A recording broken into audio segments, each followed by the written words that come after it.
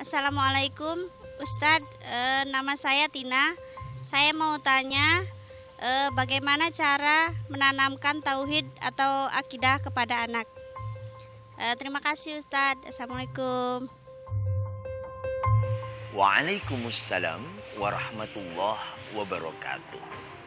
Yanda dan Bunda di mana pun Anda berada, kaitannya dengan akidah ataupun keyakinan yang paling utama ini adalah betul-betul harus segera ditancapkan kepada putra-putri kita. Pertanyaannya kemudian bagaimana cara kita menanamkan akidah, keyakinan, keimanan kepada putra-putri kita ini ada beberapa langkah praktis.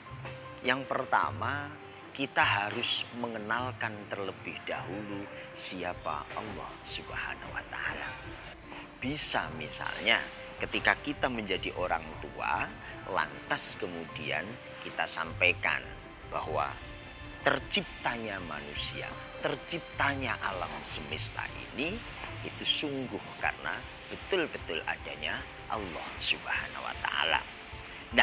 Dengan membiasakan bahwa ada Allah, ada Allah, ada Allah, anak akan ada interest, ada ketertarikan lalu mulai dia kritis bertanya siapa Allah itu.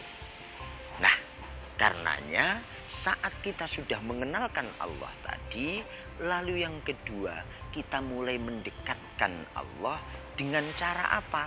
Bisa dengan bercerita, bisa dengan berkisah. Karena bercerita, berkisah itu sesuatu yang sangat luar biasa yang hasilnya akan menancap pada putra-putri kita kalau kita mulainya dari sedini mungkin itu sampai dia dewasa akan dia ingat.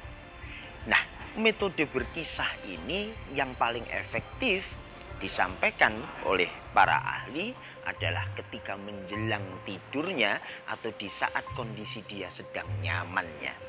Nah, karena itu setelah kita mengenalkan dengan sistem cerita tadi, salah satu cara untuk mendekatkan lagi supaya dia lebih dekat kepada Allah adalah dengan membiasakan berzikir, membiasakan berdoa.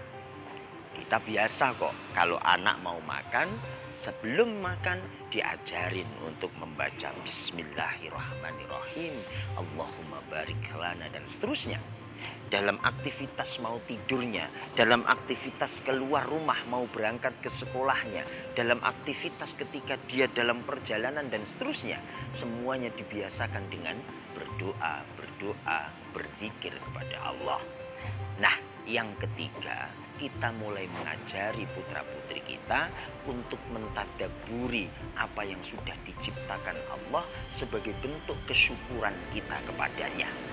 Kalau kita terbiasa kemudian mengajak anak-anak kita, meskipun dia masih kecil, dengan mengenalkan terhadap fungsi apa pun yang sudah, hikmah apa pun yang sudah diciptakan Allah itu, maka sungguh saudaraku, anak akan mulai ada tambahan keyakinan dalam dirinya, mulai menghujam keimanan dalam dirinya bahwa sungguh apa pun yang diciptakan Allah itu tidak ada yang tidak bermanfaat.